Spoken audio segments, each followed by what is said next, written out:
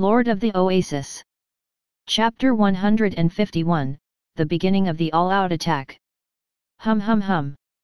The bowstrings trembled violently and the arrows darted through the air. Under the city wall, the arrow all over the ground bloomed like white flowers, mixed with the rich smell of blood, more and more demonic. The strong and burly jackal warriors were howling and striding forward. The arrows all over their bodies made them like hedgehogs. Even if they tried their best to move forward, it was only the momentary recovery of consciousness just before death, finally in the continuous rain of arrows no longer hold on, heavy fell to the ground. Stop shooting! The voice of Phyrontis rang out the city wall.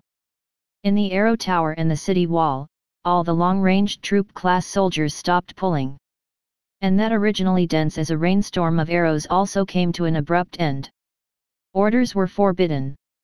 Just outside the city wall, the centurion of jackals, which had been lined up in orderly formation, was covered in arrows, and the fresh blood that seeped out had dyed the sand behind them red. The scene was extremely tragic, but the soldiers on the city wall still looked indifferent. This was a life and death battle. Pity? It didn't exist.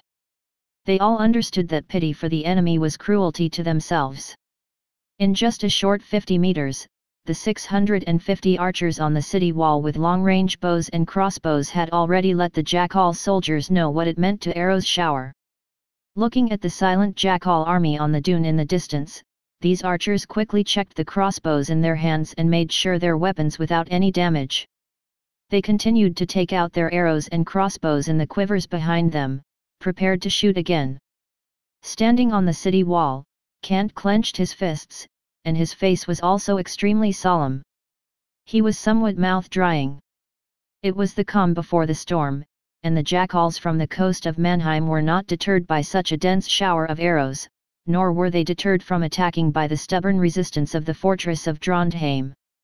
Both sides were in the same situation. Kent and Drontheim had no way out. The jackals from the kingdom of Greymane also had no way out. Howl. The howl, almost mournful, was long, full of anger and despair. More of the scent Urals began to howl. It was like walking in the night when you were confronted by hungry wolves. The howl was so gnawing at the heart that ordinary people's legs go weak and could barely stand. This was a sorrowful song in despair. Kant was breathing a little fast as he looked at the jackals standing a thousand meters away, their heads raised and howling. Even his compatriots in the desert of Naran, those low-level jackals, were unable to cry out, because this was the grief of a civilized race, for the despair of the road ahead, and even if they were shattered to pieces, all wanted to be completely desperate determination. These jackals were indeed going all out. They had no choice but to go all out. In the southern part of the Naran Desert, the Greymane Kingdom had spent a huge amount of resources and resources to prepare the strategic layout, but it had already been completely destroyed by Kant. For example, a Asaki of the salt mine. Wells of the lower Jackal tribe. The lower Jackals scattered in the southern desert. There was also a crucial sentry oasis that could be used as an outpost base and could be called an enclave. Exiled by the dukedom of Leo to the Naran desert, Kent, instead, appeared to release a real lion, occupying the sentry oasis, establishing the Drontheim fortress, destroying the Jackal tribe, and killing Asaki. Intentionally or unintentionally, he had easily solved the layout of the kingdom of Greymane. It was less than three months since Kant had arrived at the Naran desert. However, due to the difficulty of information transmission, the information could not be timely received by the Greymane kingdom, so the higher jackals had no idea at all. The strategic plan they had struggled to make was easily erased by half, and it was vital to the southern part of the desert without the possibility of regrets. Because of this ignorance, step by step they entered the current desperate situation. They could not retreat at all. Without food and water for the return journey, they retreated only to be dried up in the desert. In fact, they had been planning this strategy from start to finish for nearly a decade, even as soon as the lower jackals emerged within their sphere of influence and became aware of the human states to the south. The reason why they could hide in Mannheim coast for so long, and give up most of the stars in the interests of the sea, was to across the desert, and come to this piece of human nations bordering the South Desert edge, making the successful development of Greymane Kingdom colonies and their retreat, off the coast of Mannheims, as well as vital home front. The arrow would have to be shoot. These expeditionary army jackals had no choice but to attack and risk their lives. This was the only way to survive. Roar! The centurion let out a furious roar, and the five square formations began to advance in an orderly manner. The 2,900 jackals, all of them battle-ready soldiers, now made a general assault, exhausted as they were, but the heavy infantry, once invincible on the coast of Mannheim and capable of crushing everything, still brought with it a soaring momentum. Stepping step by step in the sand, the dull sound was like the slow gallop of heavy horsemen. The faint sound of crash could be heard endlessly. It was the clear sound of mail armor colliding with each other when they walked, but it was not sweet. It was more like death, shaking its little bells like a toy, waiting for the final harvest of life. The probing attack had ended, and now it was a brazen all-out attack. Everyone! From the top of the wall attic, Manide looked at the silver-colored troops slowly pressing over in front of him, with a quite grave face. He was holding Kant's light crossbow in his hand, commanding the 500 Swadian militia standing at the top of the attic to fight. But now, he could not help stepping back, gritting his teeth, he shouted at the militia beside him, Fire, get ready. The 500 Swadian recruit raised the loaded crossbows in their hands and aimed them at the slowly approaching troops. That strength of unity brought great oppression to their hearts. Not to mention these militia. Even the experienced archers of Vikia and Swadian in the attic of the city wall had a slightly changed face, they immediately gritted their teeth and wore a determined expression of readiness to fight. Coming! Phyrontis' breathing was also slightly hurried but at this critical moment Kant stood directly in front of him and took over his command of the wall. At the same turning to him, Phyrontis, go and command all of our cavalry troops to gather at the south gate. If you find an opportunity, or when the city wall is in danger, you will lead the charge. Chapter 152 Effective Use of Corpses Kant's face was solemn. Looking at the army that was slowly approaching, he said in a low voice, hurry up. But. Phyrontis tried to dissuade Kant. However, Kant said in a low voice, listen to my orders, hurry up. I will obey your orders. Phyrontis gritted his teeth. His face was extremely solemn. Looking at Kant's back, without a moment's hesitation, he turned around and walked down the city wall, running towards the open space where the heavy cavalry was. This was a critical moment. It was also not the time to hesitate. The cavalry in the open space were all on standby. Phyrontis mounted his horse, drew his knight's sword, and, watching the silent gaze of the cavalry, shouted to the east gate, All cavalry, follow me. There was the rumble of hooves. The heavy cavalry of the Drontheim fortress were moving quickly along the streets. The peasant women with forks and cleavers were guarding the southern gate. When Phyrontis rode up, they opened the gates of the city, they understood and immediately opened the gate, and the heavy cavalry and light cavalry filed out, forming up into a thick and square formation in the flat desert outside the city gate. However, they did not charge. They just stayed put. Phyrontis was waiting. This was his plan with Kant, which, though not yet stated, they both understood. The idea of defending the wall, of using the advantage of the wall to keep the enemy at bay, was impractical, or impossible. They could only use external support to alleviate the pressure on the city walls, and the cavalry unit led by Phyrontis was such external support. Cavalry could not defend on the city wall because they were the strongest with war horses. But leaving the walls behind and using high mobility to give the enemy a sudden charge at a critical moment was as effective as coming down the walls on horseback. It was even better for defending the city wall. The defense of a city often did not depend entirely on the city wall. The defensive fortress itself was a strategic defense. If they lost even the outside of the city wall, it was equivalent to lose the tactical initiative, and completely lose the ability of the tactical offensive, slaughtered by others. This was the reason why Kant let Phyrontis lead the cavalry and leave. There was another reason. The city wall could not stop the attack of the jackals. The stone walls of 5 meters high, 2 meters high reinforcement attic, seemed to be 7 meters high, but in actual battles, as long as the jackals came to the 5 meters high stone walls, they could climb over the windows of the reinforced attic and directly enter the attic of the city wall, using their two-handed battle axes to kill wantonly, did not need to climb up the 7 meters high attic and then jump into the fortress. The arrows of the archers were not muskets. A single bullet could incapacitate an enemy. In the era of cold weapons, as long as the arrows did not hit their vitals, it was perfectly normal to fight like a hedgehog all over your body. Fortunately, the 500 Swadian militia at the top of the tower had already piled up all the rocks that they had obtained from the city wall. As long as the enemy got close, they would be able to defend for a long time. As long as they could suppress the attack of the Jackal expeditionary force, with the deterring the enemy and the arrows of the archers, they could kill as many of the enemy as possible, reducing the strength of this siege force and weakening their offensive ability. Just behind the city gate, behind the 50 Swadian infantry, a golden lion with a red bottom was standing in the middle of the street. It fluttered even though there was no wind. It's all up to you. Kant exhaled slowly a muffled breath of tension. This flag, by far, was his most useful war artifact. 200 meters. The Ravenstern Rangers spoke and reported the enemy's distance from the wall.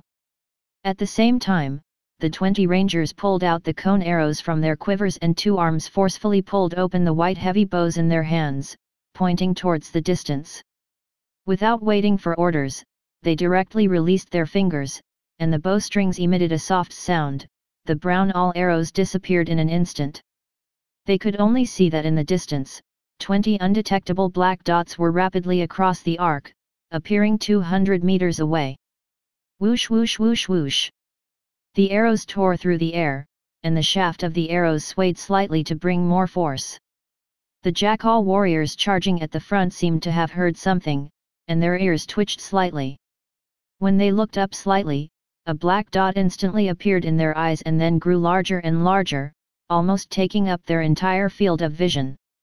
Puff! Then, it covered the salt mine.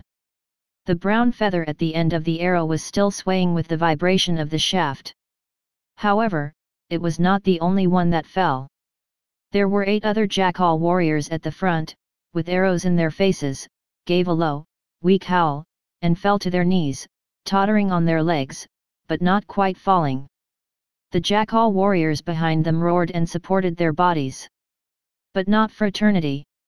On the city wall, in Kant's eyes, the nine jackals, shot in the eye, held high by their companions, like shields, across their faces, to ward off any arrows that might appear. It was a cruel battlefield. If they wanted to survive, they even had to make use of the corpses of their companions. No one thought that this was a cruel display. Now it was the best choice of the jackals, who had no shield and could only fend off the arrows in this way. Even the jackals, who had been shot dead and wounded by the rangers of Ravenstern and could not continue to fight, did not mind being raised as physical shields. In their eyes, they were also the honor of resisting injury for their peers, which was to create a victorious future. 150 meters. There are archers Vikia shouting. Now that they were within their shooting range, the long bows in their hands were suddenly pulled open and the arrows in their hands were shot out. There was no need to aim at all, for a vast area was already covered by an army of 2,900 jackals. All you have to do is shoot it, and you would hit it 100%. The whistling sound of the arrows did not stop. The buzzing sound of the bowstring vibrating filled the entire attic and arrow tower. 100 meters. The Swadian crossbowman began to shoot, pulling the trigger and shot out the iron bolt. The whistling sound did not stop. At 50 meters, the Swadian militia also joined in the shooting. The rain of arrows was even more pouring. Each wave would take away the lives of more than a dozen Jack Allen, as well as the light and heavy injuries of dozens of people. The shrill whistling of arrows tore through the air. Death spread among the jackals, who, at any moment or place, stumbled and fell under the blows of the arrows, but more often than not, were lifted up by their companions beside them, ready human shields. The jackal corpses held high above their heads effectively blocked the dense rain of arrows. The corpses who were not afraid of the arrows were just like shields with excellent effects. Finally, at the very front, the jackals were getting closer and closer to the city wall, eventually came to the city wall, revealing their bloodshot eyes. They roared and threw the corpses filled with arrows above their heads at their feet, and then knelt down directly at the bottom of the city wall which was like a ladder, allowed the jackals behind them to step on them and climb up. Just like the human shield from before. Now, these jackals at the front were willing to be the human siege ladders. Chapter 153 Get caught up in a mad offensive. Roar. The jackals were howl of despair, but the original bloodthirsty and murderous nature, aroused at this moment, was far more savage and tyrannical than their indigenous brethren, the lower jackals. And the wisdom brought by a civilized race. The front row of jackals knelt down and used their backs as stairs, while the back row of jackals mercilessly stepped on the backs of their companions. Using this human flesh stairs, they frantically climbed towards the attic window at the top of the city wall like ants attached to ants, even on the left and right sides, the archer towers and the archers at the city gates had formed a crossbow rain of arrows, causing casualties to many of the jackals who wanted to climb up, but, the jackals who followed behind continued to climb up with bloodshot eyes. In the current situation, with heavy losses, they also wanted to capture the outpost oasis, even if more than half of the casualties, but also to take this vital fortress. Howl! The centurion was hidden among the numerous jackal warriors, all of whom had reached the base of the wall, and two of the jackal body steps of human flesh appeared. All the jackals were trying their best to climb up. They had no way out. As for Kent, he was undeterred by their frantic attacks. Because he, who was exiled, also had no way out. Go and tell Manide to throw all the stones down. Don't let the jackals climb up. Kent was issuing orders loudly. The Swadian crossbowman behind him, who was the messenger, put away the crossbow in his hand, turned and quickly climbed the ladder to the top of the wooden attic, where they shouted back to Manide about Kent's orders. Got it. Manide replied. The noisy battlefield was filled with angry howls and soldiers' abuse. A cold sweat ran down his face as the battle raged, but the crossbow in his hand refused to stop and he shouted to the Swadian militiamen, change rocks and don't let the jackals come up, hurry up. The others don't hesitate. Keep shooting. Only a few people were needed to throw the rocks. The other Swadian militia still needed to fire fast with their crossbows. Although the power was relatively small. But within a distance of less than 10 meters, the power of the hunting crossbow in their hands was also enough to pierce through the mail armor of the jackals and even hit a vital point, it could directly hit the target. Looking at the layer of jackal corpses under the city wall, they had some credit. Smash! Twenty Swadian militia carried a stone the size of half a human head. Arrived at the edge of the city wall, looking at the noisy battlefield below, one by one the teeth of the mouth, eyes with bloodshot heads of ferocious beasts, the heart slightly trembling, but the hands of the stones were held high in the heart, heavy hit down. In order to protect their homes, this group of peasant militia was willing to die. Sentry Oasis, Drontheim Fortress was their homeland. Whoosh! The stone was heavily smashed down. That speed brought with it the faint sound of wind, crashed into the tide of the jackals in an instant, smashing into the head of the jackals who were still kneeling on the ground, building a human ladder, clenching his teeth as he endured the stomps of his companions. Blood splattered, and brain matter burst out, red and white splattering everywhere. As for the jackal whose head had been smashed, was directly lying among the pile of corpses beneath him, staring eyes full of despair and disbelief, but the recessed skull made their staring eyes quickly open. The stone was thrown down with more force than the cone-headed arrows of the Ranger of Livingston. Bang bang bang bang. A dozen stones fell, and even the stair of human flesh that had been piled up so hard that the jackals were scattered, laying a layer of corpses on the ground. Even the other jackals, for a moment, howled with rage, but the Swadian militiamen at the top of the wall's attic could not be shaken. Instead, the militiamen took advantage of the opportunity to come to the edge and pull the trigger to bombard the jackals below with a shower of arrows. Dozens more jackals fell. More and more bodies piled up at the bottom, and the jackals grew more and more frantic as the death toll rose. Howls of despair and anger filled the air. But the jackals had not give up. A new front row knelt on the pile of bodies again, becoming a human ladder for the back row to climb on their own, not caring at all about the rocks falling from above, and blowing their brains out in a matter of minutes. They had fallen into a kind of madness that was fearless in a desperate situation. Crazy, crazy, crazy. Manide was cursing the jackals at the bottom of the pile of corpses. He pulled the light crossbow in his hand, and the arrow pierced the chest of a jackal at the bottom. It pierced through the mail armor and seemed to have hurt his lungs, but the jackal did not care at all. Instead, he looked up at him with a ferocious smile on his face, unexpectedly forcefully pulled out the arrow from his chest. The blood that splashed out had dyed the linen robe on his body red. This was a demonstration of his fearlessness towards Manide, but also a fearlessness about death. The price, of course, was that when the arrow was pulled out, the jackal fell to his knees, limped on his legs, and became a staircase for the jackals behind him, a new staircase filled with dozens of corpses. It was because of this that Manide cursed the jackals for being mad. Because in this deadly charge, the bodies had piled up a slope, and even though the militiamen had hurled down the stones, and the arrows from the bowmen on either side of the arrow towers and at the gates, the jackals could barely reach the garret windows by means of the slope of their companions' corpses. Wu bang! The two-handed battle axe fiercely struck the windowsill, splashing the sawdust on the face of the crossbowman inside. The battle situation became more and more dangerous. Throw all our grease down. Kant's face was calm as he stretched out his hand and shouted a command in reply. In the corner of the attic, there were four clay pots immediately carried by the Swadian crossbowmen and they fiercely smashed them out of the window, smashing down on a jackal who had poked his head over. The pots immediately shattered, and the amber-colored liquid inside instantly filled the entire staircase made of corpses. Torch!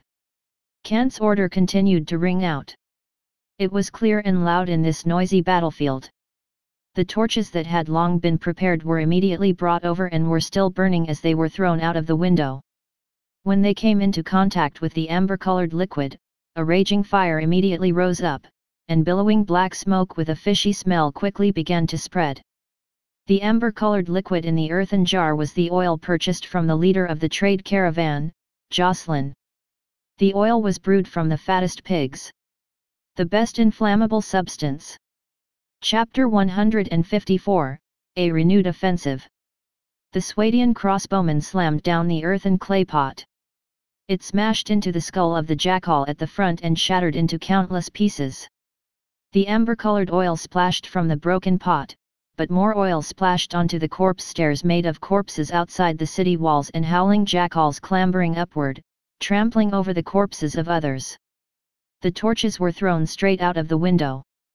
In a short moment, the corpse stairs that were covered in oil suddenly burst into flames. The heat wave was extremely oppressive. Flame spreading through the bodies on the linen robe and hair was help up the fire, produced crackling sound, and with the cans of oil, the fire more intense, the latter, composed of external wall body was burning up the big fire, let those jackals who were still climbing, under miserable cry started to recede. The fear of fire was imprinted in the depths of the souls of living creatures, and even these jackals. The fire spread, and the raging flames created a billowing heat wave. The jackals with bloodshot eyes, who were originally surrounded underneath, suddenly regained a little of their sanity. They were cowering and too timid to climb up the flaming corpse ladder and retreated subconsciously. The siege was defeated, and the jackal attacks weakened. One surge of energy led to another bust. As the madness faded in their eyes, fear appeared in the hearts of the jackals. No one wanted to continue dying, let alone climb the still burning corpse ladder. Howl! A mournful wolf howl appeared. It was the order of the commander to retreat. The entire Jack Allen army was not able to continue the crazy attack. When the violent attacks after failure, temporarily away was a wise choice. Otherwise, the morale of the army would be severely depressed after a long time, under the threat of death, the initial madness would turn into a hopeless situation, causing the entire army to collapse. The expeditionary army began to retreat. In less than 30 minutes, they had left more than 600 of their comrades' corpse, and were retreating in tragic strides, their orderly formation beginning to show signs of disintegration. The Jackal crazy offensive had dissipated. The archers in the attic of the city wall suddenly felt the pressure they were facing instantly ease, and all heaved a sigh of relief. However, these archers did not relax. The longbows and crossbows in their hands continued to shoot out arrows. Even the Swadian militia who were holding hunting crossbows at the top of the city walls continued to shoot out arrows, they chased after the retreating troops. Now was the time to take advantage of the situation to kill the enemy. The sound of the air being torn apart was still shrill. The Jackal troops quickly retreated, but they still left behind over 30 corpses before finally leaving 200 meters away, well beyond the effective firing range of the human marksmen on the walls. Kant looked at the Jackal troops who had returned to the bottom of the dune and started to reorganize their troops, and the solemnity in his eyes eased slightly. This meant that the other side would not continue the attack for a while. At least, they had to stabilize their morale and encourage these jackals who had fallen into a desperate situation before they could attack the city again. But even so, the troops who had already been defeated in the siege wanted to continue to enter the city and forget everything else, only knew how to climb up with all their efforts, even if they became corpses, they would still have to be used as stepping stones for their companions. Their crazy status was no longer possible. There was something in the depths of Kant's eyes as he thought of the madness of giving one's life for the sake of death. He turned his head slightly, and the red-bottomed golden lion fluttered behind him. Kant noticed a certain fact. In that group of jackals' crazy attack, this flag of battlefield artifact, actually failed to cut theirs morale, whether it was the first round of morale reduction or the increase in the number of deaths to reduce morale, it was very difficult, as these jackals who went into hysterics, there was a constant of morale, it was impossible to be cut. Only when their attacks suffered a setback and they retreated backward did they finally succeed in reducing the morale of a portion of the jackals. However, the reduction was not great at all. It did not even cause the enemy's troops to fall into a state of low morale. Falling into a state of madness will automatically stabilize the morale and cannot be cut. Kant quickly came to a conclusion and his guess was very accurate. However, this accurate conclusion was not a good thing. He could not help but sigh. Turning his head to look at the archers who were moving their arms and massaging their muscles, he felt a little more at ease. After all, he was gratified that his soldiers were fighting back without fear of their madness. Pass on the message, watch out. The enemy will not give us too long. Kant instructed the messenger and turned to walk towards the stairs. Instead of leaving the walls, he climbed to the top of the attic and, looking at the rows of Swadian militiamen sitting on the ground to rest, he found Manad, who was still busy, and asked, How are things with you? Everything is fine. Manad bowed, but still said solemnly, It's just that there are not enough crossbows. So soon. Kant frowned. Manad sighed, Yes, the militiamen had emptied their quivers in the last battle. After all, the militiamen had only 20 arrows in their quivers, which was not enough to sustain a high-intensity siege. I see. Kant nodded. Manide was telling the truth. It was probably not just these Swadian militias. Even the other crossbow would have had no more than a few in his quiver by now. In the frenzied siege battle just now, the archers had played an absolute role. The 600 plus jackals' corpses below were almost all caused by these archers. Moreover, the retreating jackals, most of the people had heavy wounds on their bodies. If not for the dense rain of arrows, such a situation would not have happened. After pondering for a while, Kant said, This problem is very easy to solve. That's great.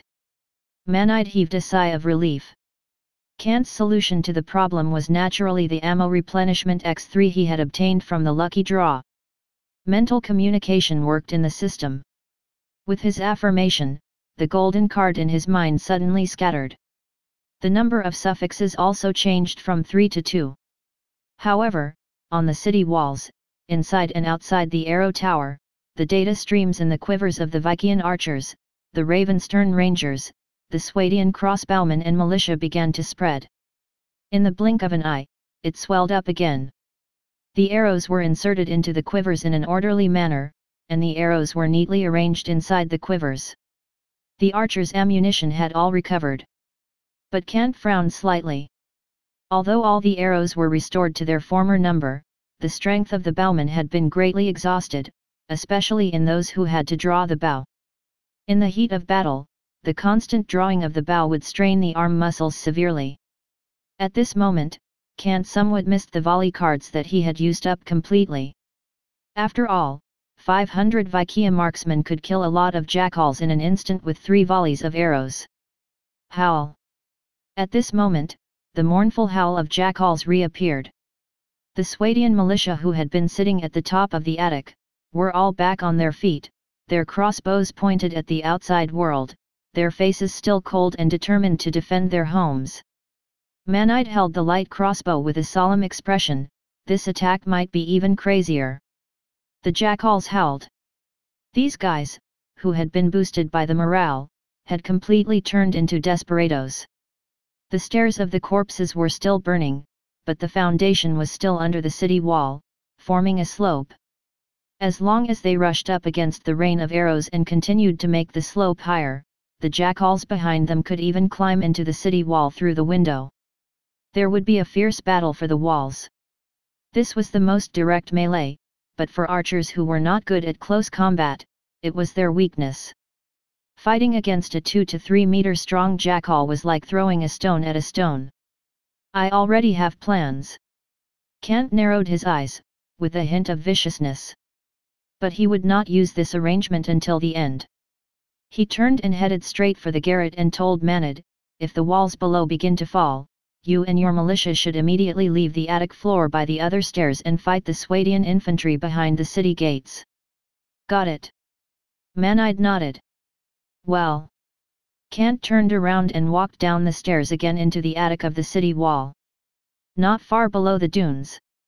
The jackals, rearranged in formation, resumed their attack.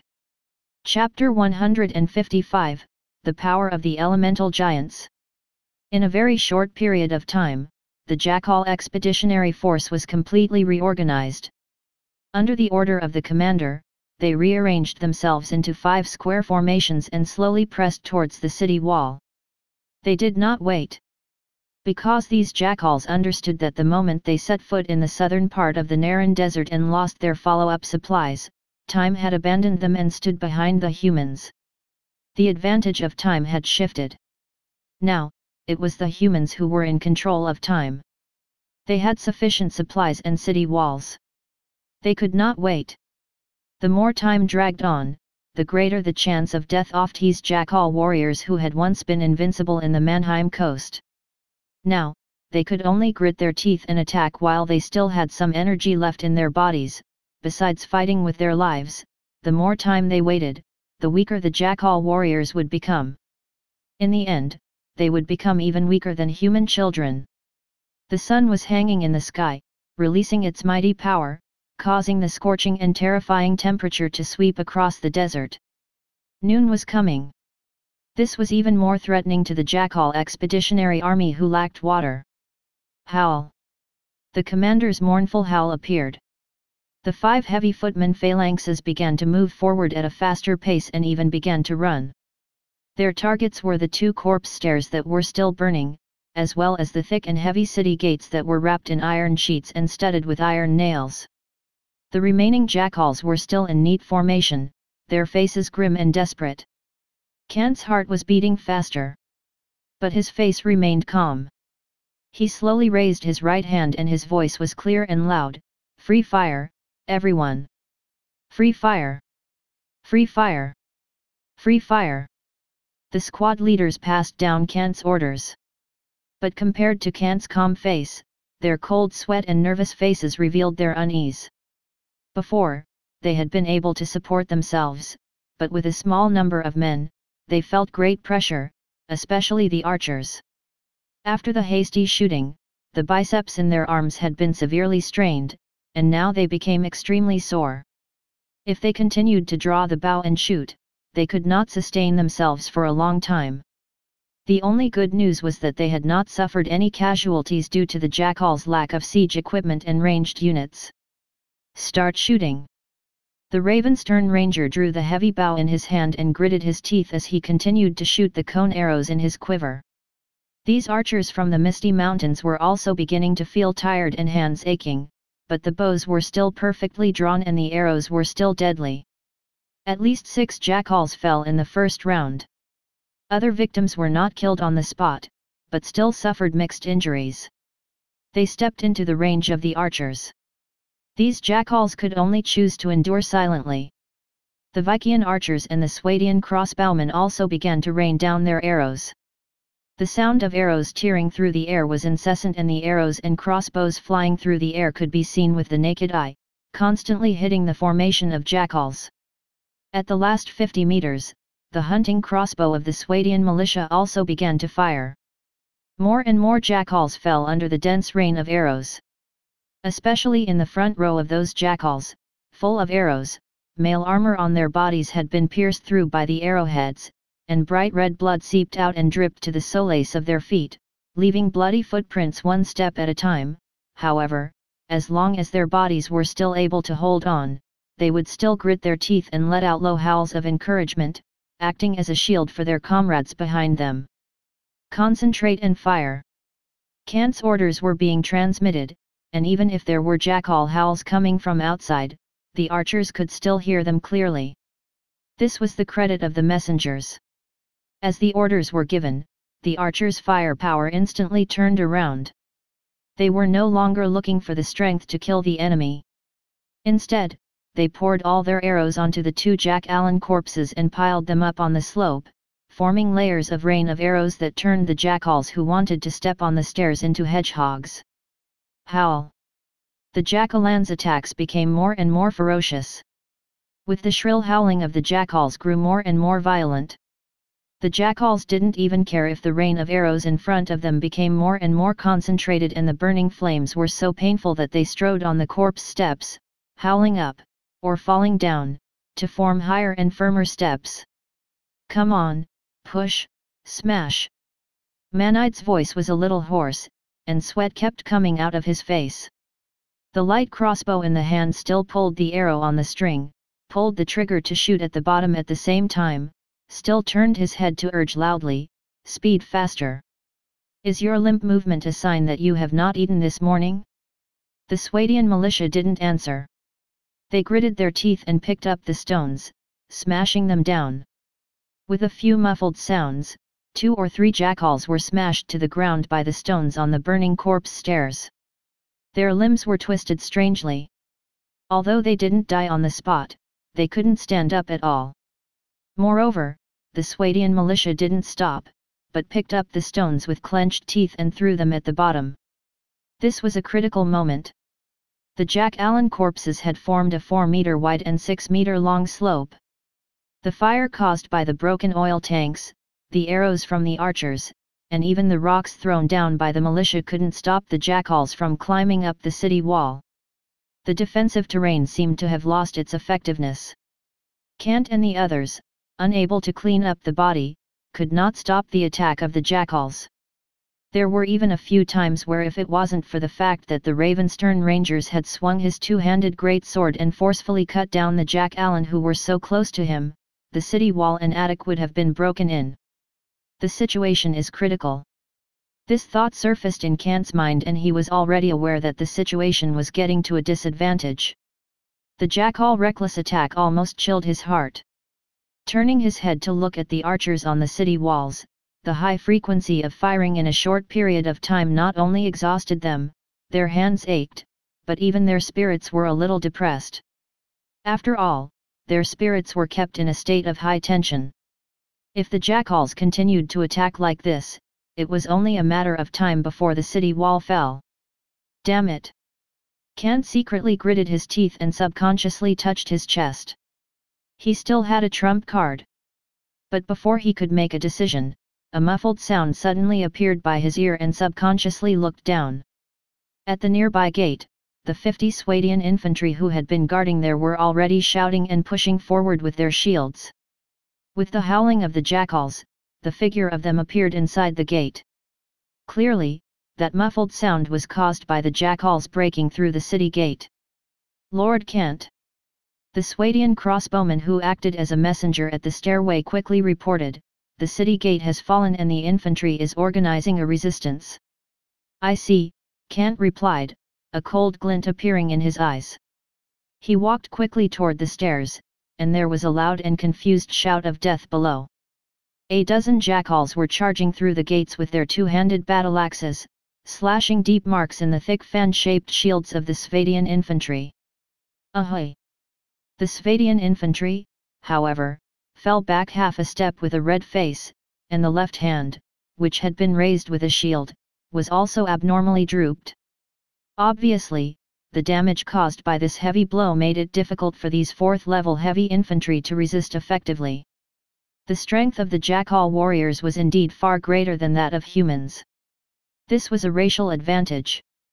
But the well-armed Swadian infantry, undeterred, carried on with their shields, piercing their chainmail with their sharp hands and swords, leaving deep holes in their blood. No, the jackals are attacking.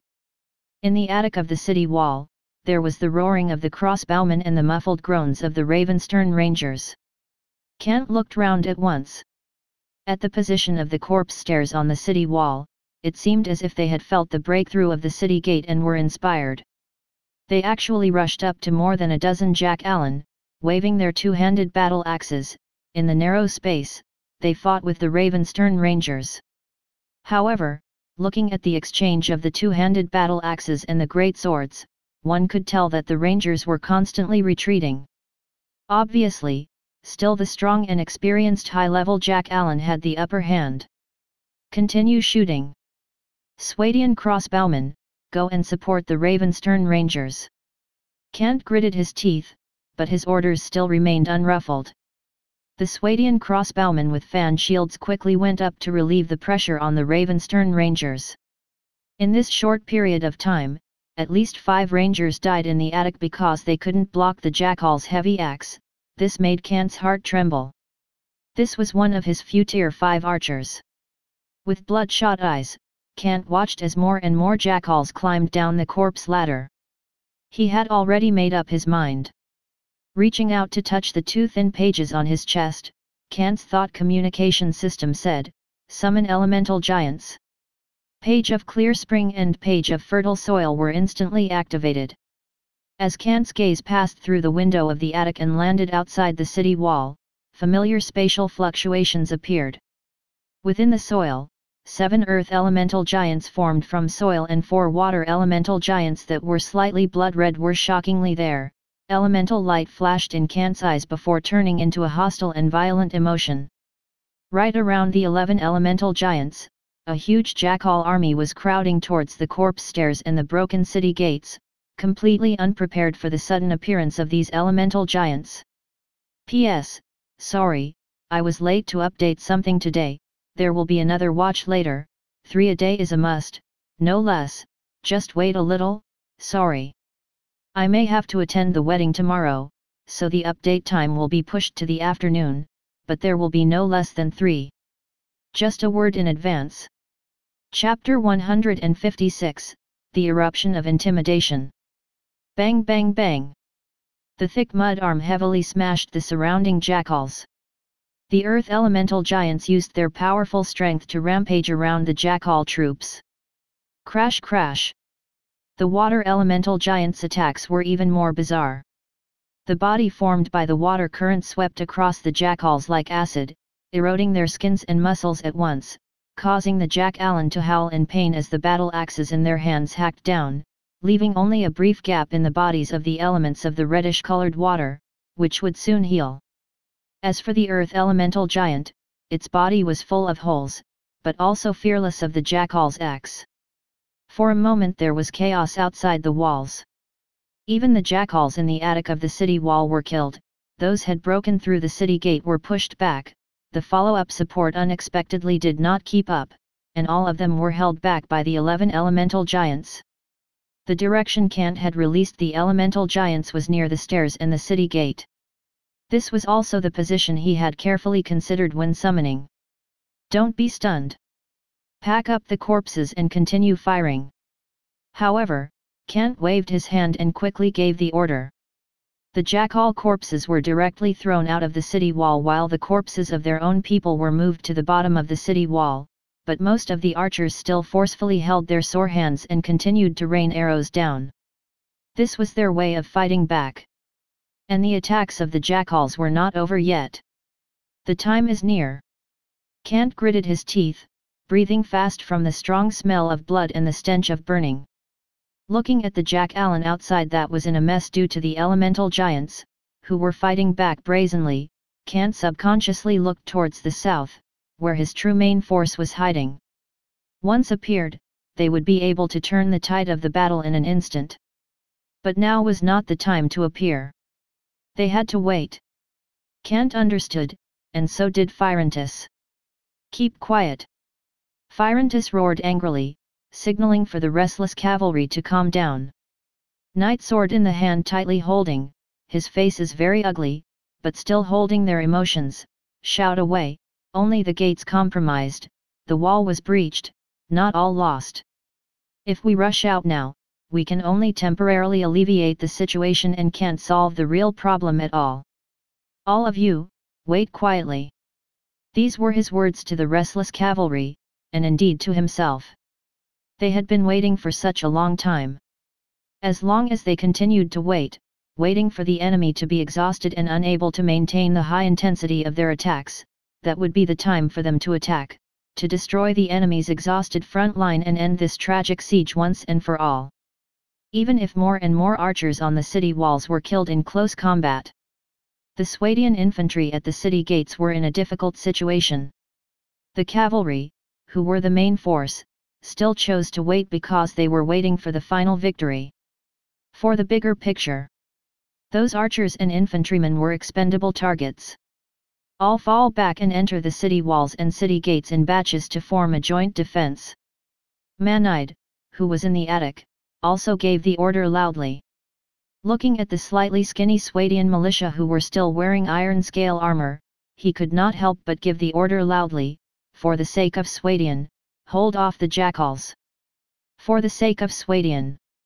The militia shouted loudly with excitement and malevolence on their faces. They had already understood Manide's arrangements. Because entering the city walls and the city gates to defend was actually using their own bodies to block those jackals, and to the militia who were at a disadvantage in terms of equipment and combat skills, was equivalent to death. But they did not care, striding down the stairs to the attic. Raising their wooden shields and holding their combat shovel, they charged forward, forcefully withstanding the two-handed battle axes of the jackal warriors. Even if the wooden shields were easily split open, and their companions in front of them were directly hacked to death, they would fearlessly charge forward. Jackals risked their lives for survival. Then these Swadians, too, could risk their lives for their homes. Lord Kant, let's leave the city walls. Manide walked down from the attic, seeing more and more jackals appearing at the city walls and city gates, he said to Kant very urgently, we must go to the council hall and set up a defense. No, there's no need for that yet. Kant turned his head, with a hint of malevolence in his face. The eleven elemental giants that he had summoned outside the window were shattered bit by bit by the jackal two-handed battle axes. Their elemental bodies completely collapsed and turned into elemental substances that declared their deaths. However, these elemental giants also took away at least a hundred jackal corpses. This had even affected a large number of soldiers. The opportunity was getting closer and closer.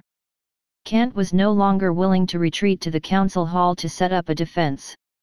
If he left, the soldiers who had lost his encouragement would be broken through, and the defense of Drontheim fortress would also be broken through.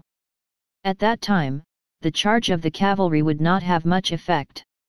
Lord Kant. Manide tried to persuade him, you have to leave this place. No need. Kant replied firmly. The battle was in a dangerous situation, he definitely couldn't leave and the current defensive line was still not in danger. 500 Swadian militia filled the gap and used their lives to hold off the attacks of the jackals, even blocking the two corpse steps and the gate, bringing the battle to a standstill again the jackals attacked even more frantically. However, the strength of their attacks had unknowingly become much lighter. The two-handed battle axes were still powerful.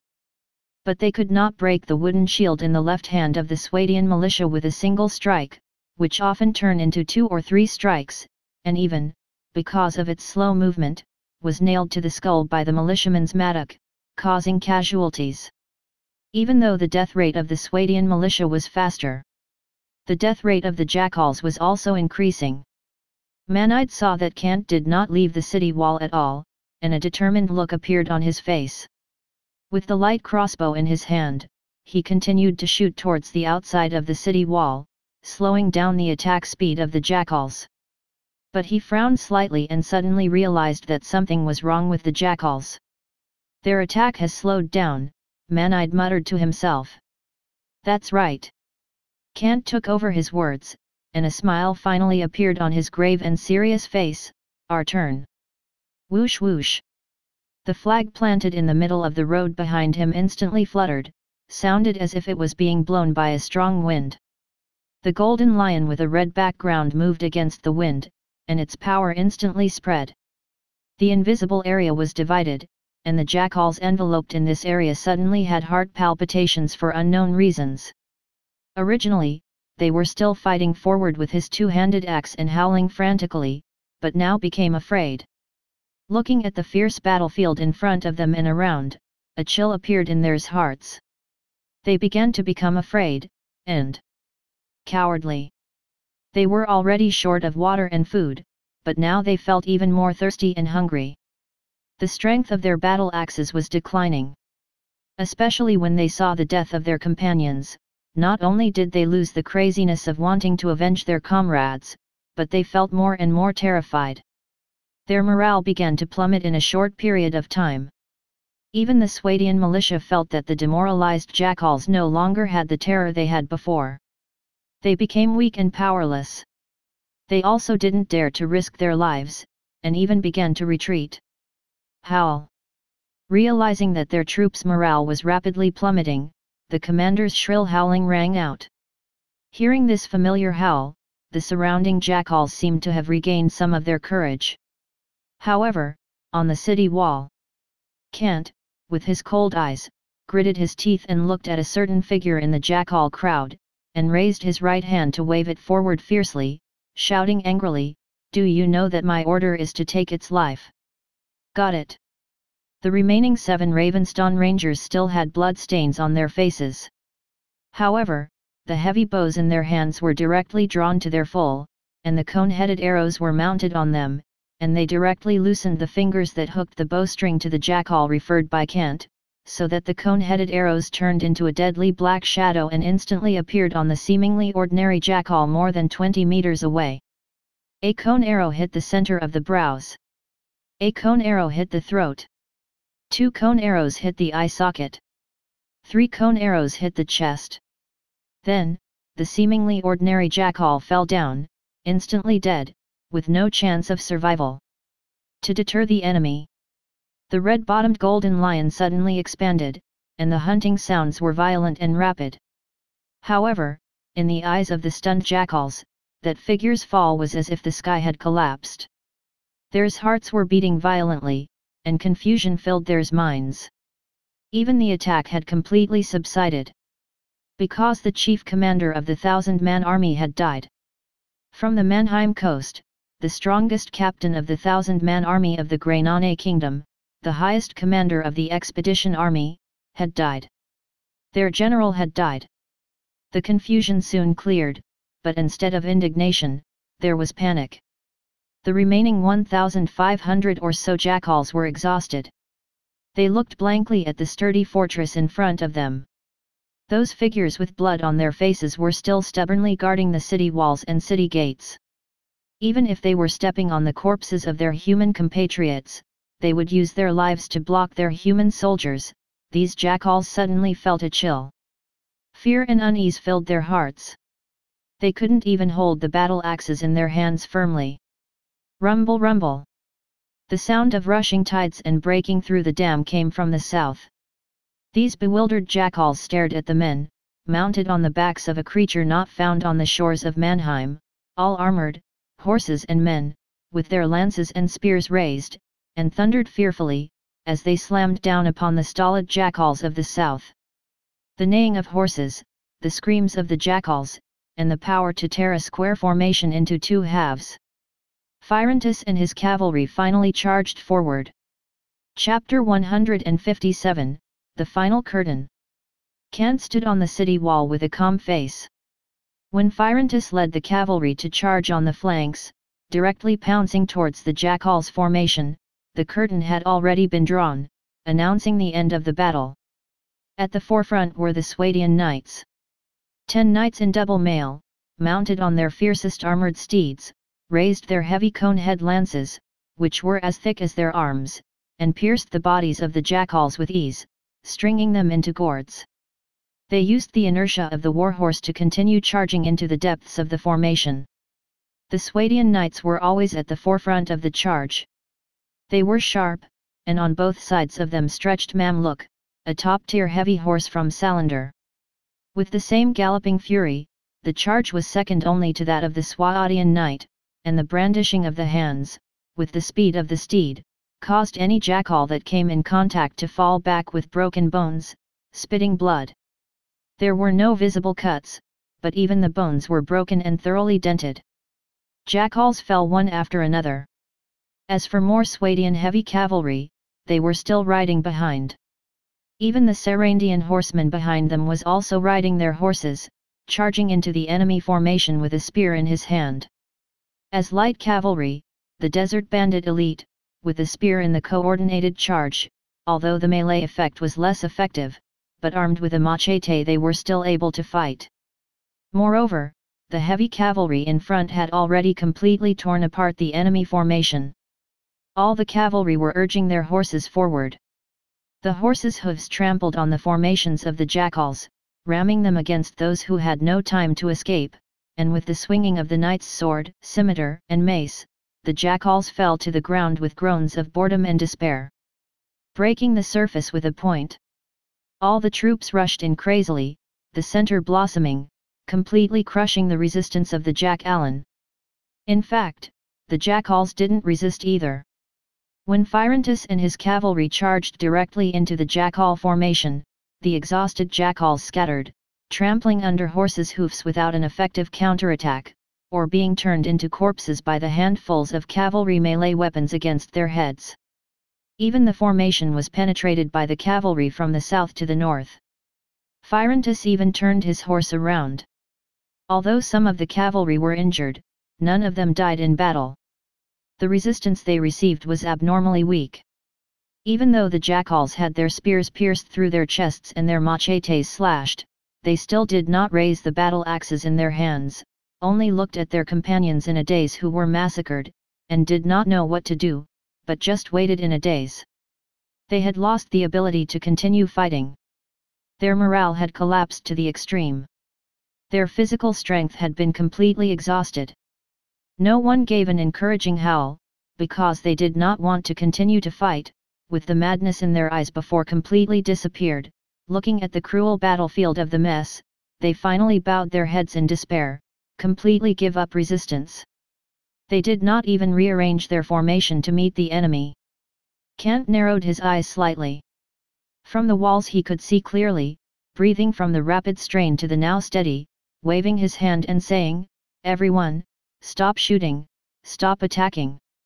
Yes. The messengers replied. Then, they immediately turned around and left. Stepping on the corpses on the ground, they passed through the blood-stained city wall and attic to convey the Lord's order. The battlefield stopped. The arrow rain that was originally dense also stopped shooting at this moment. Even Phyrontis and his soldiers who were outside the walls had been told to stop attacking, to wait in the desert plains on the north side, with their lances and spears in their hands, and to look at the jackals standing outside the walls as if they had lost their minds and were dead. The battle is over, Kant said. There's no need to continue attacking. The jackals had lost the will to resist. And to Kant, they were captives, beautiful dinars. Living dinar. The leader of the trade caravan, Jocelyn, who was still waiting in the Drontheim fortress with his guards and sentries to defend the council hall, could buy these high-level jackals at 50 dinars per person. Kant didn't think that he was rich enough to ignore this huge sum of money. So many high-level jackals were ready-made captives. And the dead jackals had no value at all. They were just a pile of corpses that were disgusting even when they were cleaned up. Kant's order to capture them was also passed down. This mission was undoubtedly the work of the cavalry outside, and the cavalry who had just entered the battlefield and completely destroyed the psychological defense line of these jackals were very happy with it. There was nothing better than defeating the enemy and then capturing them, so they could enjoy the beauty of victory.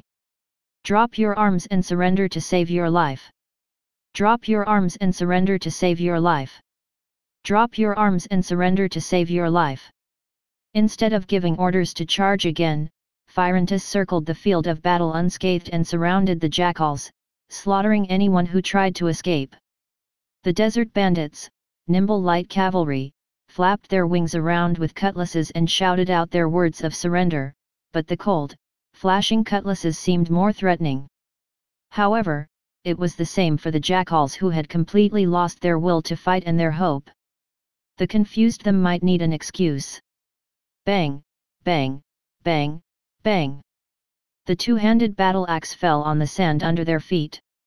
All these jackals fell to their knees, and there was no madness in their confused eyes, only a loss of future and the deepest despair, so deep that these jackals, once invincible on the coast of Mannheim, did not have the least inclination to resist.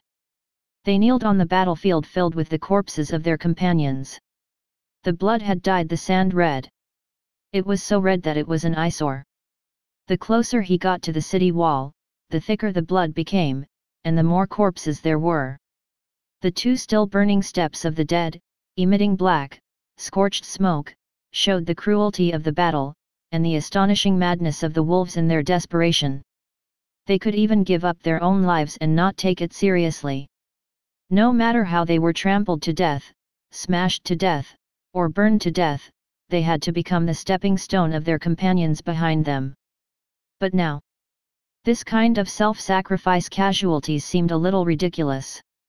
For all the remaining jackals had chosen to surrender, in the most shameful manner of the army, to their enemies, without conditions, in order to survive rather than die on the battlefield. Manide.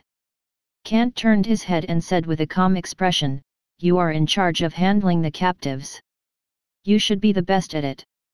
After a pause, he reminded, Tell Phyrontis to clean up the battlefield. I will inform Jocelyn to come and help you later. After you finish your own matters, report to me in the hall. Got it. Manide nodded immediately. All right. Kant nodded as well and turned to leave. The matter was handed down. The two of them were able to handle it very well. Lord Kant. After leaving the city wall, the Swadian infantry, who were covered in blood and wounds, hurriedly stood up and saluted Kant. At the same time, they quickly separated ten infantry soldiers to follow behind him and continue to act as guards. Yes. Kant nodded. Although his face was calm, his eyes were gloomy. There were less than 20 of his original 50 Swadian infantry left, and each of them was injured. Even the ten infantry who had been assigned to serve as guardsmen were not as well equipped as they once were, with scalloped shields, tattered iron plates on the outside, and broken chainmail on the inside. Fresh blood seeped out and dyed the torn linen robe red. When those crazy jackals broke through the city gate, it was these 50 Swadian infantry who charged forward. In a short while, 30 people were killed. If it were not for the hundreds of Swadian militia who risked their lives to defend, these infantrymen would probably be completely wiped out, and it was possible that the city gate would be broken through. Those crazy jackal warriors were definitely not something that low-level jackals could compare to. Even in Kant's view. These advanced jackals from the coast of Mannheim, who had been taught combat skills and have fought on the battlefield, were worthy of the title of Tier 5, and it needed to take a Swadian of the same class to stop them. The increase in combat strength due to the racial advantage was too terrifying. After all, the height, weight, and strength of humans could not be compared to these high-level jackalan. Pay attention to rest after cleaning up the battlefield. Kant instructed the infantrymen and militia at the city gate, then turned around and continued to walk toward the council hall. The bodies of the dead had been gathered together and laid out in order at the gates, while militiamen worked together to bring down the more numerous bowmen from the walls, and peasant women gave them their last respect by wiping their bloodied faces with towels dipped in water. Dying in battle to protect their homes was a glorious death. My lord! Those strong peasant women walked over, wanting to help Kant. However, Kant frowned and said, No need.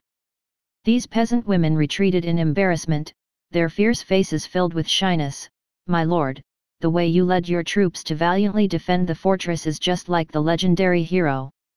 He he. Kant only chuckled and no reply. Seeing that the peasant women were still holding pitchforks and kitchen knives, he calmly instructed, Go prepare lunch now. It's almost noon, and our soldiers haven't even had time to eat breakfast.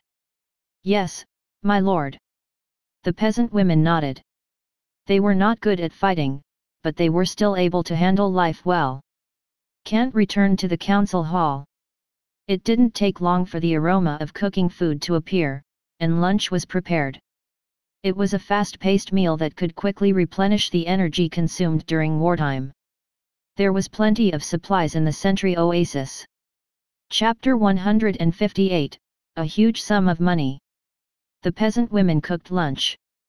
The soldiers also used this time to clean up the battlefield. The main thing was to properly place the bodies of the dead. However, the casualties of Kant's troops on the defensive side were evidently better than those of the jackals on the attacking side. Just outside the east wall, the flowing blood had dyed the sand red. Not far away, under the dune, the bodies with full of arrows or smashed brains were neatly arranged. Of the 3,000 elite jackals from the Mannheim coast, more than half had died in battle. It was extremely tragic. The surviving jackals were all injured. But no one pitied them. As invaders, these jackals had to be prepared to accept defeat after defeat. Instead of food and water, the desert bandits brought flax ropes, scowling and shaking their faces, and tied the jackal's hands behind their backs. Not far away, Phyrontis was still leading the cavalry to deter the captives from getting into trouble. But there was no resistance. The jackalan were actually tied up obediently. The Jackal's expeditionary army, which had not eaten for many days to replenish their strength, and their bodies were extremely dehydrated, did not have any ability to resist. When the light returned, they retreated crazily. Their status became weaker and weaker. Just like that, they were easily tied up by the desert bandits' backs. They kicked and whipped the jackal's captives to the south side of the city gate, because right there, the leader of the trade caravan from Riveden, Jocelyn, he was looking at these jackalan captives with a wide smile on his face. Occasionally, he would talk to Manide beside him, and the two of them would laugh even more enthusiastically. The leader of the trade caravan, Jocelyn, could imagine how warmly he would be treated by the noble and iron mine owners when he returned to Riveden after purchasing over a thousand jackals captives. The kingdom of Vikia was located in a snowfield, and its grain output was low, so its population was low. However, the snowfield had an extremely large amount of iron ore. With a little mining, one could dig out baskets of high-quality iron ore. This made the kingdom of Vikia feel a little awkward. The population of his own kingdom was small, and in the medieval era of cold weapons, mining ore was a dangerous job. Ordinary Vikians would not work at all, and there was no better option than to buy captives and become mining slaves. And the main economic pillar of the kingdom of Vikia was precisely these high-quality iron ores. In order to be able to mine large amounts of ores and turn them into iron ingots, the kingdom of Vikia would buy a large number of slaves almost every year. It could be said that a portion of the slave trade on the continent of Karadia was hyped up by the kingdom of Vikia. Now, the kingdom of Vikia had a new source of slaves. It was Lord Kant, located in the land of miracles. As long as there was enough dinar, who was better than human miners used Noel miners, as long as trained, rest for a period of time, handling well, completely WS the best miners, strong, know the commands, to belly can day and night the exploitation of mining, was popular with the miners. Of course, Kant also welcomed this. These mine owners of the kingdom of Vikia were his big customers. Otherwise, the endless dinar would not have appeared in his pocket so easily, becoming the help of Drontheim's level up. It was a good thing that everyone was happy. Just inside and outside the city wall, everyone was still busy. The feeling of having a common enemy disappeared. However, there was no excitement from the victors. Instead, there was a faint sadness. The familiar faces had been turned pale in the battle, lying on the sand, covered in white linen, a memory that existed only in the public memory. They were the valiant guardians of the fortress, and the heroes who held the line to the end. Facing the strong close combat ability of the jackals. In fact, even the corpses of these dead warriors were incomplete. The farmers who were in charge of organizing their appearances had red eyes when they collected the corpses of the dead. Even the civilians who had seen many deaths, such a tragic battle, and such terrible wounds, other than the large-scale battle between the kingdoms, it was rare to see such a tragic sight on the continent of Karadia. This was the reason why the caravan of Rivadin had purchased so much linen. Even though they had already died in battle. But as a lord, Kant would never forget their contributions. Even though they had already died in battle, he could use a towel to wipe off the dirty blood on his face and use the pure white linen as a shroud to give them respect and honor after death as compensation. It was also a motivation for the surviving soldiers. Lord Kant would never forget anyone. The sun rose to the center of the sky. The temperature of the Naran desert suddenly increased, forming a billowing heat wave that spread across the entire desert. At noon. Sentry Oasis, the battlefield had basically been cleaned up. The corpses were all separated and piled up in order to facilitate the post-battle inventory. As the main battlefield, the blood-stained ground inside and outside the city walls and gates was also splashed and washed by the careful militia with clean water, restoring the yellow and orange sand to its original color and the rich smell of blood also became lighter. It was basically finished. The peasant women also walked over and called for the soldiers who were resting to eat. In the kitchen next to the council hall, buckets of lunch had already been prepared. It was steaming hot and fragrant. Because it was made in a hurry, it was no different from the food from before. However, Many soldiers who ate in batches also had looks of anticipation on their faces because they saw that in the kitchen, the batch of sand gazelle that had been hunted at the end of the month yesterday had already been dragged out and hung on the wall. Ten of them were being quickly cut and skinned by the kitchen knives in the hands of the peasant women, moreover, they had cut open their bellies and dug out their internal organs. It seemed that they were preparing for the celebration banquet that night.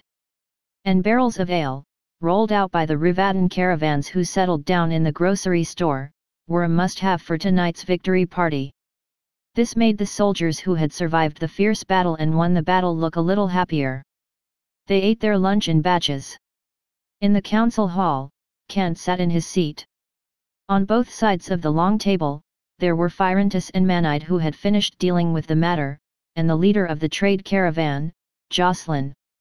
It was lunchtime. At the same time, it was time for the two of them to report the results of the battle to Kant. Because it was not a secret matter, the leader of the trade caravan, Jocelyn, did not avoid suspicion and leave. Moreover, to Kant, this merchant from the continent of Karadia could be considered half of his own people, at the very least, he would not secretly collude with the aborigines of this world, much less betray Kant and sell the most important resources. The four of them ate their food first. After all, because of this battle, they had not eaten their breakfast yet. After they were half full. Hmm, we are almost done eating. Kant wiped the corner of his mouth and said, Who will tell us about the results of our battle? Looking at Phyrontis and Manide, the corner of his mouth curled into a smile. I am quite looking forward to the results of this battle. I'll go first. Manide nodded slightly, stood up, and bowed respectfully. He organized his words, his voice was filled with self-satisfaction, Lord Kant, in my opinion, this battle can be considered an epic-level victory. We captured 1,432 jackalan. According to the calculation of 50 dinar per person, we received a total of 71,600 dinar. To be honest, in my opinion, this is also a huge sum of money that anyone would be tempted by. Of course. Kant nodded with a bright smile on his face. When the Jackal's captives were escorted to the carriage of the trade caravan, he already knew the exact amount of the money. This huge sum of 71,600 dinar had been mixed with the balance of the savings, turning into an even more terrifying number. Balance, 149,130 dinar. Just under 1,000 dinar, Kant's savings would break into 150,000 dinar. Continent of Karadia. It could open 15 of the most expensive and most popular velvet dye factories in any town. And if that didn't prove the value of the money, then the cost of maintaining the Swadian cavalry pillars, the armored horsemen of the fourth level, the Swadian heavy cavalry, 5,000 men for a week. And it was in this one week. These were purely troops formed by armored heavy cavalry, not to mention the continent of Karadia. Even on Earth. Other than the modern and modern battlefields of any era, in ancient and modern Chinese and foreign field battles, these 5,000 Swadian men-at-arms would be enough to completely defeat the enemy corps' main force. They would be like a torrential flood, breaking the enemy's formation into pieces. Because these 5,000 heavy cavalry could be said to be invincible in a frontal assault. Even if there were 100,000 infantrymen, they would not be able to hold on. They would be directly crushed by the surging torrent until the formation collapsed. Kant's smile became more and more brilliant. Just thinking about it in his mind was a wonderful moment for him. For this reason, he looked at the leader of the trade caravan, Jocelyn, and said with a smile, Tonight, I will hold a celebration banquet. I hope you brought enough malt liquor this time. This time, I will let the soldiers drink as much as they want. It's completely enough. Jocelyn nodded affirmatively. Very good. Kant's smile was thick. Nothing could soothe the hearts of the soldiers after the war better than alcohol. If it was the custom in the continent of Karadia, not only would there be alcohol, but there would also be a sum of dinar as a reward for these brave people. However, most of the time, it would be thrown into the hands of the tavern owner and the white breasts of those prostitutes, in the end, due to the various taxes of the Lord, it was returned to the Lord's treasury. Of course, Kant also handed over the matters of purchasing to Manide to handle. However, Kant turned his head and saw the solemn expression on Phyrontis's face. He also frowned slightly. Next was Phyrontis, reporting on the losses of this battle. Chapter 159, Tragic Casualties However, when Kant looked at Phyrontis, the smile on his face disappeared. His breathing calmed his heart. Since he already knew the happy news, it was time to report the unhappy news. Kant calmly asked, How are the casualties of my soldiers in this battle? It's quite severe. Phyrontis stood up, bowed, and looked very solemn. Speak, Kant narrowed his eyes. Hearing Phyrontis's words, Manide and Jocelyn also fell silent. This was indeed a topic that needed to be taken seriously. Taking a deep breath, Phyrontis said in a deep voice, On the city wall, 13 of the 20 Ravenstern Rangers were killed, 37 of the 100 Viegir archers were killed, and 40 of the 50 Swadian archers were killed. As the commander of the city wall, Kant was already mentally prepared. But now, after hearing the report, his face still started to turn grim. The casualties were indeed beyond his expectations. With a gloomy face, Kant said, Continue. Yes, Phyrontis nodded. After slightly organizing his words, he continued to report in a deep voice, 37 of the 50 Swadian footmen were killed, and out of 500 of the Swadian militia, at this point, his tone paused, as if he was hesitating. Continue, Kant frowned, and urged. Phyrontis finally sighed and said in a serious tone, 312 of the 500 Swadian militia soldiers were killed. What? Manide exclaimed. As the commander in charge of the Attic, he had led the 500 militia to launch a counterattack against the jackalans. When the 500 Swadian militiamen were stationed on the Attic, and the 500-man formation was still quite complete. However, when they were sent to support the Attic and the city gates, the casualty rate was more than half, almost all militia troops were crippled. If the battle lasted any longer, all of them would probably be wiped out. Kant was silent, Jocelyn was silent, and Manide and Phyrontis were also silent. This battle was too tragic. The troops responsible for defending the city had a casualty rate of more than half. Kant did not feel it when he left the city walls and city gates. Now that he heard the report, although it was just numbers and not seeing the corpses in person, his heart was still very heavy. After all, these were his soldiers. His breathing was calm. Kant let his emotions relax and continued to ask, what about the cavalry? The casualties of the cavalry are relatively small. Phyrontis spoke, his tone was finally no longer grave.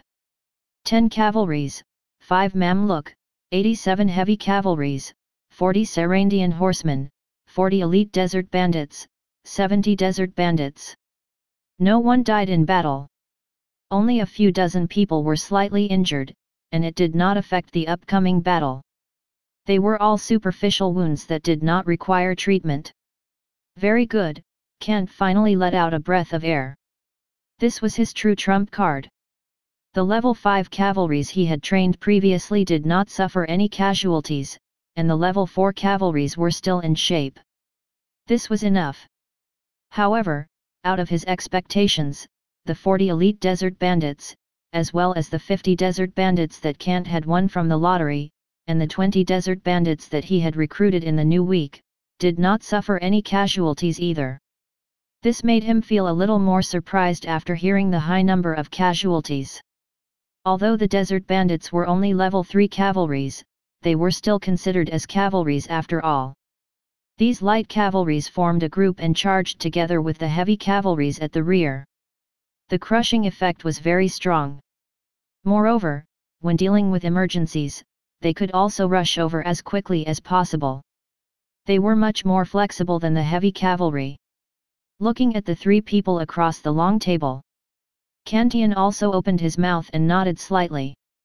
With a calm expression, he said, At the very least, we have won. Yes, the three of them nodded in response. With an army of around 800 soldiers, they were able to take on 3,000 jackalan warriors who were at least level 5 footmen. These tragic losses were reasonable. After all, in terms of close combat, these jackalan warriors were not malnourished, low-level jackalan with weak physiques could not compare to them. They were like slaughtering machines on the battlefield. All of them were 2.3 meters tall and weighed 300 kilograms. Because they had sufficient nutrition, their bodies were full of muscles. They were equipped with sophisticated mail armor and two-handed axes made of iron. This was the reason why even the level 4 footmen, the Swadian footmen who were known for their defensive strength in the game, could not withstand the frenzied attacks of the jackalan. After all, when they swung the two-handed weapons, the strength was extremely powerful. It was similar to the bardiche that the troops of the kingdom of Vaigirs liked to equip the most. However, the attack power and battle experience of these jackalan warriors could be compared to the one and only level 6 soldiers. They were known as the strongest and invincible footmen in the entire continent of Karadia, the royal guards of the Nord family. Kant concluded in his heart. In terms of the actual situation of this battle, he had won by luck. If he had not destroyed the supplies of the Jack Allen expeditionary force that set up in the Naran Desert in advance. Otherwise, the Drontheim fortress would have been conquered and the Oasis lookout would have been given away. Most importantly, he had destroyed the low-level jackalan tribe. He had destroyed the well. Not only had the expeditionary force lost all its supplies, but hunger and thirst had weakened them, and they had not rushed to the front during the siege. They also used the low-level jackalans as cannon fodder and stepping stones. If none of these had happened, Kant could imagine the situation of the battle. The well-supplied jackalan expedition army would be in a high-spirited formation.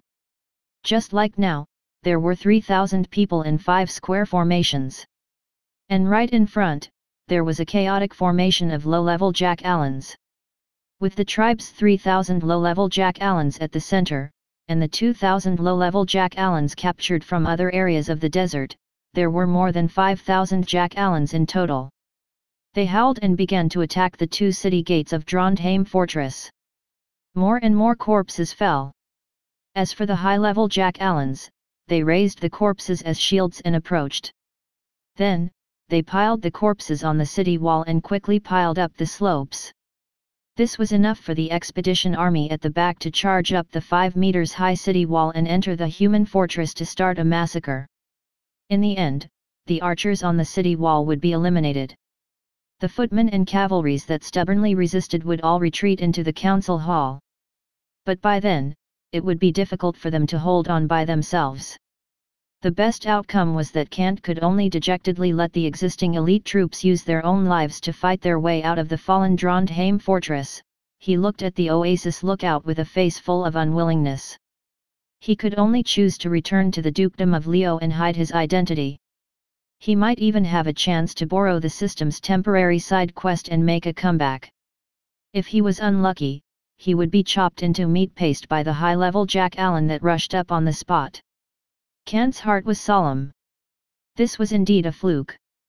He was lucky that he messed up all the arrangements of the kingdom of Greymane. Whether it was intentional or not. The final victor was Kant. Oasis Lookout. The southern part of the Naran Desert. This battle was completely under Kant's control. Continue to clean up the battlefield in the afternoon. Kant calmed down the bumpy ride in his heart.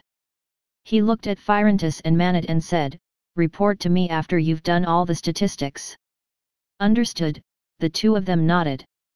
Lunch soon ended. There were still a lot of trivial matters waiting for them in Oasis Lookout. Including the treatment of the injured soldiers and the burial of the dead soldiers, both of them had to personally attend to them. Kant, on the other hand, had more important things to deal with. The system accounting after the war.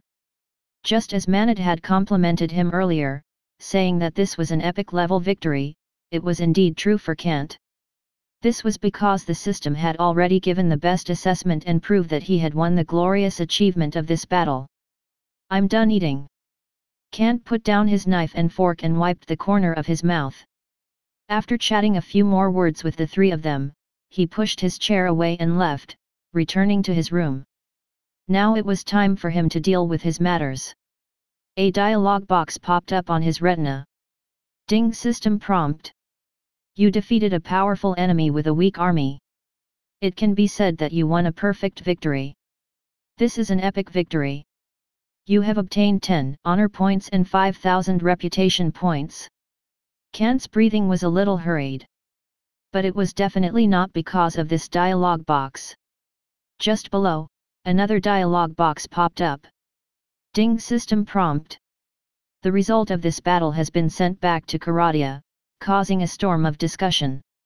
This is a legendary level comment. You have obtained 10 honor points and 5000 reputation points. Looking at the dialog box on his retina. Even with Kant's current good mental control ability, he felt a little thirsty. This was not an ordinary reward. Two comments. Epic victory and legendary level comment. The direct benefits were 20 honor points and 10,000 reputation points. Very good. Kant sat on the chair in his room with a smile on his face. This was the real post-war benefit. If he could handle something today, he would choose to do it today, this was Kant's usual creed. The data flow in his eyes started to flicker, and his mind had already communicated with the system.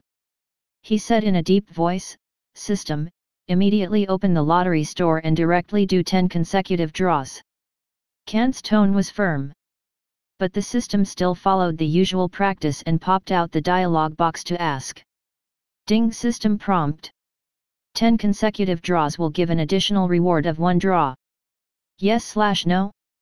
Yes, Kant did not hesitate. The system responded. On the retina in front of him, the dialog box refreshed. The colorful treasure chest appeared there, and it was slightly opened, releasing a small amount of colorful light. It carried the kind of beautiful light that penetrated one's heart, as if it wanted to absorb one's gaze. This was exactly what Kant needed. Or rather, it was the system gift pack inside the treasure chest that he desperately wanted.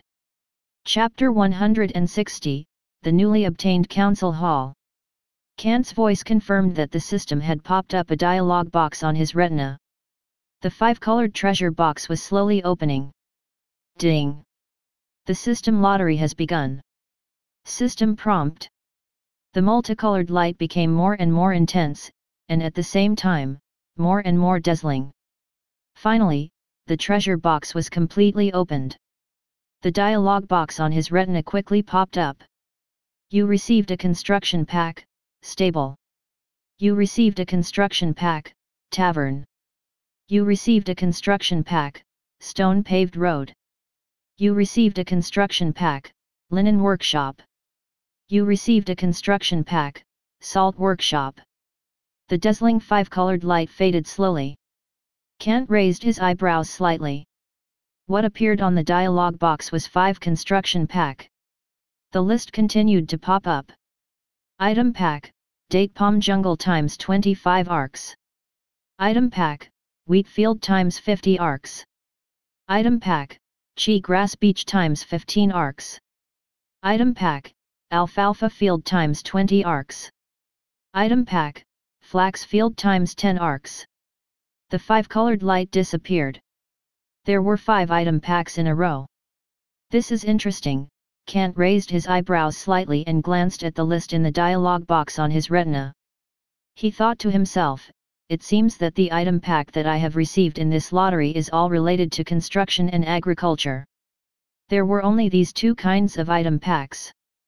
They were indeed the basic elements of construction and agriculture that could allow Drontheim to continue to develop.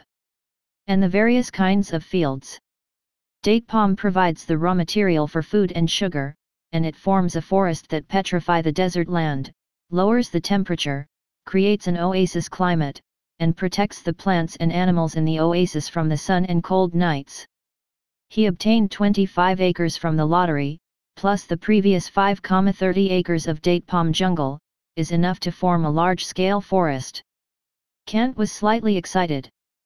There were also 50 arcs of wheat fields from the system, 15 arcs of chi grass beach, 20 arcs of alfalfa fields, and 10 arcs of flax fields that could be used American Samoa cash crops with the linen workshop. In Kant's view, these fields were more important than the buildings obtained.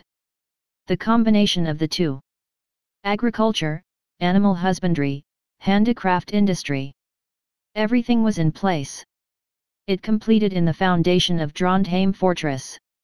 At this moment, the dialog box of the system popped up in Kant's eyes. Ding! You have acquired a special gift pack. You open the troop class pack and find that it is the growth of all living things, all plants grow into mature stage. His eyes were slightly stunned. Kant subconsciously looked at the north. Through the window, in the desert outside the attic, there was a sandy land that was obviously darker in color. There seemed to be some trees growing there, but in the end, only rows and rows of neat stumps were left after trees were cut down. That was the date palm jungle. The five acres of date palm jungle that Kant once had. But because of Kant's order, it was completely cut down and became a large amount of wood that was currently stored in the fortress. But most of the time, these excellent woods that should be used as pillars were not used for construction, but were chopped into firewood and stuffed into the stove in the kitchen to be burned, turning into wisps of green smoke and dissipating into nothingness. Is that so? Kant muttered slightly. He already understood the effect of using it. It was the miraculous power that restored all the date palm jungle that he had ordered to be cut down. Ding! The ten consecutive draws this time are over. The system gave a notification. Very good, Kant's lips curled into a smile as he looked at the gift pack on his retina. His heart was still a little restless, because in his inventory, there were still 10 honor points that could still be used. Taking a slight breath, Kant said in a deep voice, Continue the draw. Ding System Lottery begins. On the system dialog box, the five-colored treasure box appeared once again. Dazzling light blossomed. The list on the dialog box immediately began to refresh. You have received the Hero Pack, James. You have received the Item Pack, Commanding Power. You have received the Construction Pack, Warden Camp. The first three gift packs were very normal. Kant's lips curled up. He was very satisfied with this. After all, he had never seen a bad pack from the system. But then his eyes were filled with shock. And the shock was getting bigger and bigger. You have received a special pack, double the number of recruits, constant. You have received a special pack, Harvest Week, double the agricultural output. You have received a special pack, Terrain Modification, Lake. You have received a special pack, Refugee Tide, 500 Peasant. You have received a special pack, Migrant Tide, 500 Peasant. You have received a special pack, Level Up, Council Hall. You have received a special pack, Level Up, Castle. 7 in a row. All of them were special packs. Kant's eyes widened slightly, and his mood was even more agitated than the previous 10 consecutive lottery. In the system's rules, special gift packs were much more precious than other regular gift packs. This was because these gift packs with special effects were directly affected by the rules. Compared to ordinary gift packs of buildings, troop class, items, and so on, they were very much better. But before Kant could take a closer look, the dialog box popped up again on his retina. Ding you have acquired the construction pack. You have opened the construction pack and found that it was the council hall, village. What? Kant's eyes were filled with shock. So much so that he stood up on his chair. His breathing was a little hurried. His gaze was fixated on the dialog box on his retina. He used almost all of his restraint before finally sitting down again. The depths of his eyes were still filled with shock and disbelief as he looked at the final construction pack. It was as if he had sensed Kant's agitation. The system popped up an introduction. Council Hall, Village This is the foundation of a village. When you have this council hall, it means that you can build a village. Remark, this council hall will randomly select a kingdom's village. Please use it carefully. Kant swallowed his saliva. Kant's lips curled into a smile. He couldn't help but want to laugh out loud. This was really a surprise that came out of nowhere. Just this council hall alone was already worth the 21 gift packs that he obtained from these two lucky draws. In Kant's opinion, even if he completely gave up these gift packs in exchange for this council hall, it would still be worth it. This represented a new village. A new beginning as well as the continuation of a new power. Good, good, good, Kant sat down again. His face was slightly red, and he could not help but mutter in a low voice, Very good, very good, very good. This is really too good. His 16 years of etiquette training had been almost completely defeated at this time. But he could not help but be excited. Kant could have chosen another reasonable area, built the council hall, and developed a new village. And one in the light and one in the dark. Let the oasis lookout Drontheim become the focus of everyone's attention, but in the dark, for his own safety and faster development, he could develop a new village, just like the two wheels of a carriage, driving side by side. Most of the time, it was a cunning rabbit with three burrows. If an irresistible accident happened, then there was still a chance to save himself. It would not be the same as now. If he made a wrong step, he would lose the whole game. Kant, as the leader, knew the dangers of walking on the edge of the cliff very well. If he had not chosen the right route, had the system provided absolute help in the initial stage, and had some luck, perhaps his bones would have been thrown into the sand under the oasis lookout. It really is luck. Kant could not help but sigh. He held back his excited thoughts.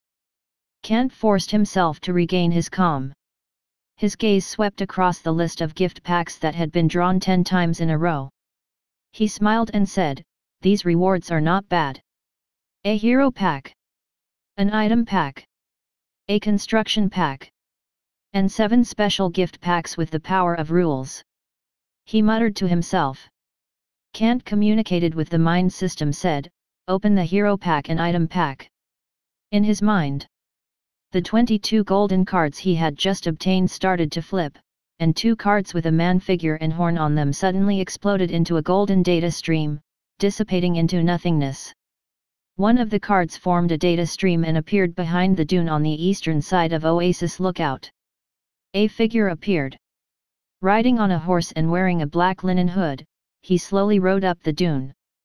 However, he was not an enemy. He did not have any weapons on him, and the only thing that could be considered a weapon was perhaps the two meters long stick on his back. However, although the clothes on this slowly approaching rider were clean, he gave people a sense of dejection. He came to the top of the dune and lifted his hood. It was a face of a middle-aged man. Looking at the city gate and the city wall, where people were still cleaning up the blood stains, he frowned slightly. However, when he saw a figure who was only commanding under the city wall, his face also showed some excitement. He lightly knocked on the horse's abdomen and urged the horse down the dune, walking toward the fortress not far away. In front of him, ten desert bandits had already received the news of the Arrow Tower and were rushing over on their horses. Kant wasn't sure about all of this at the moment. But in his room, an item that looked like an enlarged version of the ox horn appeared on the table. It was wrapped in silver and gold and had exquisite gemstones as decorations. Introduction popped up. Commanding Power, Horn. Attribute, 1. The morale of your side within a 500 yard radius of the horn will increase. 2. When the horn is blown, the troops will gain a 10 minute excited status and maintain morale. 3. When the troops are ambushed, the morale of the troops will not drop. 4. When the morale of the troops collapses, the sound of the horn can reignite the fighting spirit of the troops. Introduction This is the legendary horn. Having it means having victory. Kant looked at the horn that looked like a work of art. His eyes were filled with joy. Because it this commanding power had the same origin as intimidation. It was derived from the title of the mod of Mount and Blade, Light and Darkness. There was only a difference. When it was used as a title, the two would never appear at the same time. But now, it could be used as an item, as a strange object. It just happened to appear in Kant's hands. As a divine weapon on the battlefield, it was supposed to display its strongest effect.